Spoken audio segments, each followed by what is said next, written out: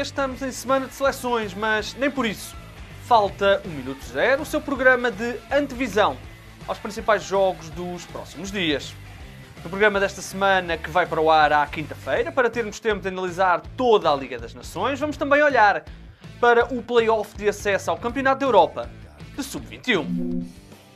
O principal destaque vai para a seleção principal, que está a um ponto de garantir a presença na Final Four da Liga das Nações.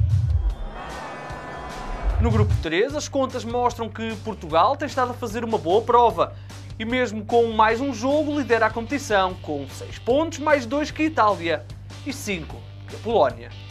A primeira oportunidade para conquistar o ponto que falta acontece já este sábado, no San Siro contra a Itália.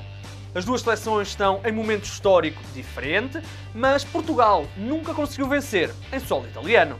O melhor que a equipa das esquinas conseguiu fazer foi empatar por duas vezes. Ainda assim, e para confirmar estas mudanças históricas, vemos que Portugal venceu os últimos dois jogos contra os italianos. Venceu num particular em 2015 e já nesta Liga das Nações. A equipa de Fernando Santos conseguiu vencer por 1-0. E se o ponto que falta não for conquistado no sábado, existe uma nova oportunidade para conseguir o apuramento na terça-feira, em Guimarães. Frente à Polónia, a seleção lusa até pode ter de vencer, mas isso é algo que Fernando Santos tem sabido fazer com Portugal. É que o atual selecionador nacional venceu todos os jogos oficiais que realizou em território luso desde que chegou à Federação Portuguesa de Futebol, em 2014. Já a Polónia não atravessa o melhor momento, ainda não venceu qualquer jogo da Liga das Nações e apenas venceu um dos últimos seis jogos oficiais. Este triunfo aconteceu durante o último Campeonato do Mundo, que disputou na Rússia no passado verão.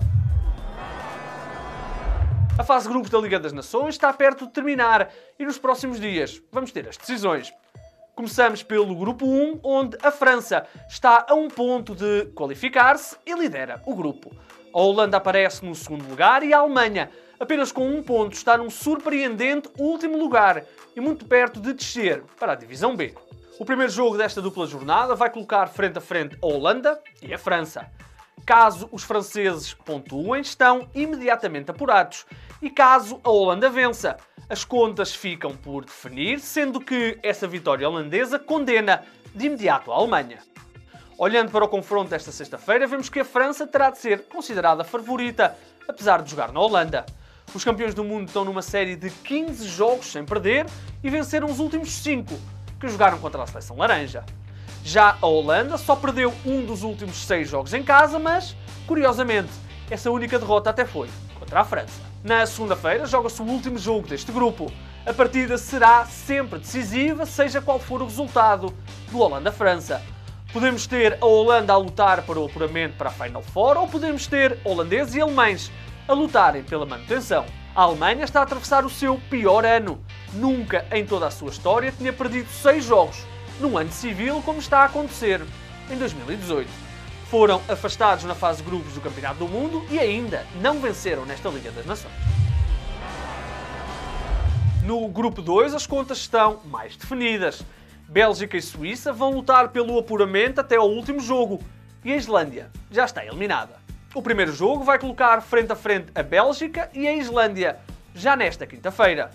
Seja qual for o resultado, a Bélgica terá sempre de decidir o apuramento no último jogo, na casa da Suíça. Olhando com mais atenção para esse jogo entre belgas e suíços, que se jogam apenas no domingo, vemos que, historicamente, a Bélgica leva vantagem.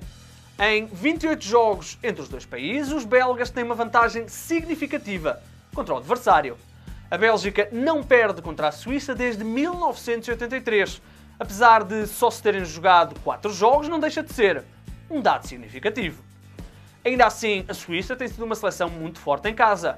Os suíços não perdem jogos oficiais em sua casa desde 2014, no apuramento para o Campeonato da Europa de 2016.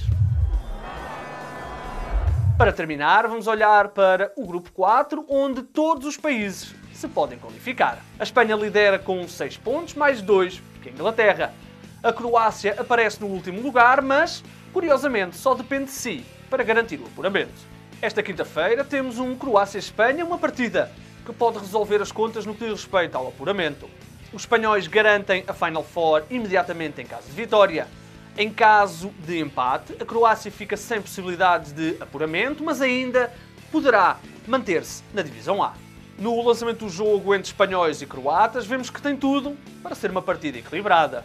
Nos últimos 27 jogos oficiais fora de casa, a Espanha só perdeu por uma vez, sendo que a Croácia não perde em casa oficialmente desde 2013.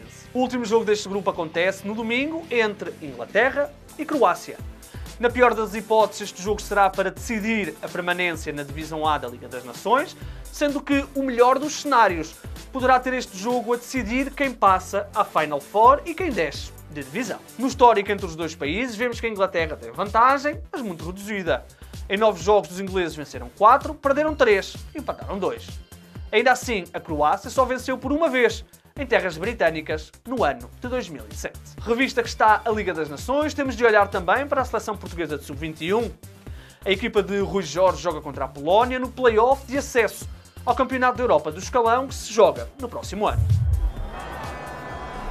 A primeira mão acontece já nesta sexta-feira e na terça-feira, em Chaves, decide-se o apuramento. Historicamente, Portugal tem uma vantagem nos jogos contra a Polónia em sub-21. Em nove jogos venceu cinco e apenas perdeu por uma vez. O último jogo entre os dois países neste escalão aconteceu em 2013. Já com Rui Jorge ao comando, Portugal goleou por 6-1. Tempo agora para os remates da semana. Do remate ao ângulo temos o Futebol Clube do Porto e Sérgio Conceição. Após a derrota na Luz, no início de outubro, o treinador tinha dito que se calhar era a última derrota no campeonato. E o que é certo é que a equipa entrou numa fase impressionante sete vitórias seguidas, apuramento muito próximo de ser conseguido na Liga dos Campeões e o primeiro lugar no campeonato de forma isolada. Há ainda uma boa forma na Taça da Liga e na Taça de Portugal. No remate de recarga temos Santi Solari no Real Madrid. Era para ser apenas o treinador interino, mas o certo é que o argentino já assinou contrato para ser treinador principal até 2021. O técnico entrou para o lugar de Raul Lopetegui, venceu os primeiros quatro jogos, e até colocou a equipa a marcar muitos golos. No remate ao lado temos o Marítimo e Cláudio Braga. Uma época que era para ser de esperança está a tornar-se numa época de sofrimento. A equipa insular está numa série de nove jogos sem vencer e temos de recuar até o dia 2 de setembro para ver a última vitória. A contestação é cada vez maior. Está tudo dito no Minuto Zero desta semana. Voltamos na próxima semana, na sexta-feira. Mas antes de nos despedirmos, fique com a agenda para os próximos dias.